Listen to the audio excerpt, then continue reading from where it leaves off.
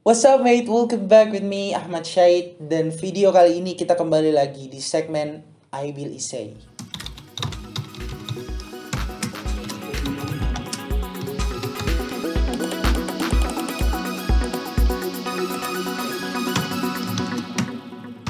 Jadi di video kali ini kita akan membahas tentang introvert.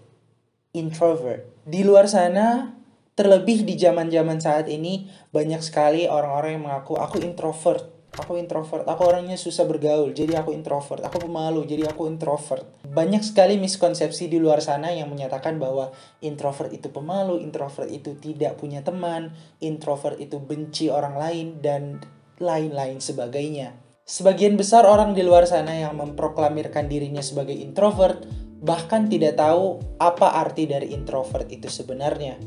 Jadi di video kali ini kita akan bahas yang pertama, apa itu introvert?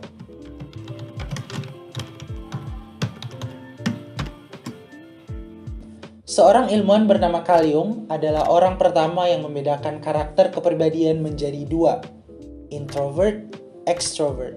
Apa itu introvert? Introvert adalah orang-orang yang memiliki kecenderungan mencari energi dari dalam diri mereka sendiri. Sedangkan ekstrovert adalah kebalikannya di mana orang itu mencari energi dari dunia luar. Jadi, kalau diibaratkan dengan Naruto yang mempunyai cakra, orang yang introvert itu mengisi cakranya dengan menyendiri. Dan orang yang ekstrovert itu mengisi cakranya dengan pergi nongkrong keluar, jalan-jalan, shopping, ngopi bareng teman-temannya. Akan tetapi dua hal ini mempunyai ciri yang berbeda-beda di setiap individu. Ada introvert yang mungkin mempunyai waktu yang cukup singkat untuk mengisi energi dalam dirinya sehingga dia bisa uh, beraktivitas seperti biasa lagi.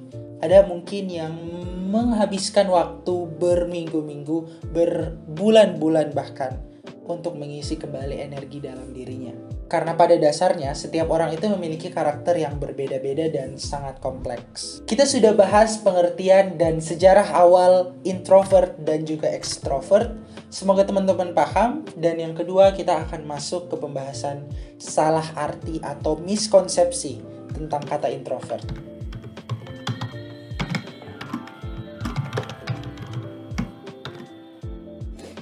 Banyak orang yang masih punya stigma negatif tentang kata introvert ini. Apa aja itu? Yang pertama, introvert itu pemalu. Padahal kalau kita pikir-pikir, introvert dan pemalu adalah dua hal yang berbeda. Kita balik ke definisi bahwa introvert adalah orang-orang yang punya kecenderungan untuk mengisi energi dalam dirinya dengan cara sendiri. Apakah introvert itu pemalu? Jawabannya adalah belum tentu. Ada orang-orang yang introvert tapi justru ketika dia disuruh public speaking atau ngomong di depan orang banyak, dia akan pede-pede aja. Jadi kesimpulannya, orang introvert belum tentu pemalu, karena introvert dan pemalu adalah dua hal yang tidak berkesinambungan atau tidak berhubungan. Catat. Kembali lagi ke definisi karena introvert dan extrovert adalah hanya soal energi. Yang kedua, introvert itu benci orang lain. Jawabannya adalah belum tentu, Walaupun sebagian dari orang-orang introvert mungkin akan menunjukkan seakan-akan mereka itu tidak butuh orang lain, seakan-akan mereka itu bisa melakukan segalanya dengan sendiri. Akan tetapi, seorang introvert juga butuh orang lain, karena kembali kita adalah seorang manusia yang tentu membutuhkan orang lain. Kita adalah makhluk sosial. Yang ketiga, introvert itu tidak punya teman. Jawabannya adalah belum tentu. Memang sebagian introvert akan memilih circle pertemanan yang cenderung lebih kecil dan lebih intim.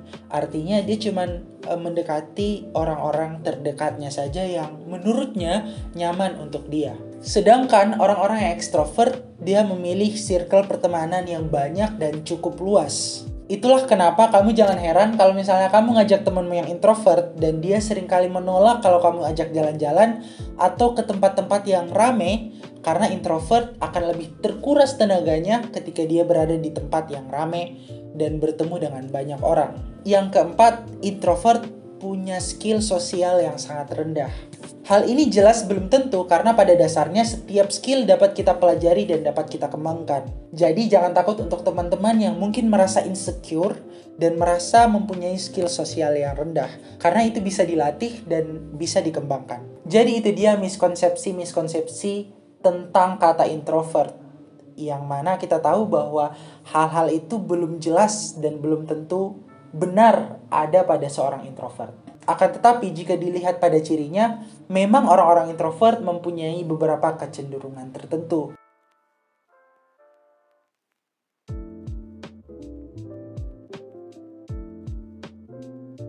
Yang pertama, introvert butuh menghabiskan waktunya sendiri. Tentu ini sangat jelas karena seorang introvert kita kembali ke definisi bahwa dia mendapatkan energinya itu dari dalam dirinya sendiri. Jadi kadang dia butuh waktu untuk menyendiri, untuk mengumpulkan energi yang dia punya. Yang kedua, introvert jarang sekali menginisiasi obrolan. Sering kali ketika introvert itu berada dalam satu tongkrongan, dalam satu diskusi, dia sering sekali memilih untuk diam dan tidak menginisiasi pembicaraan tersebut. Jadi, dari sini mungkin banyak yang beranggapan bahwa orang introvert itu benci dengan orang lain.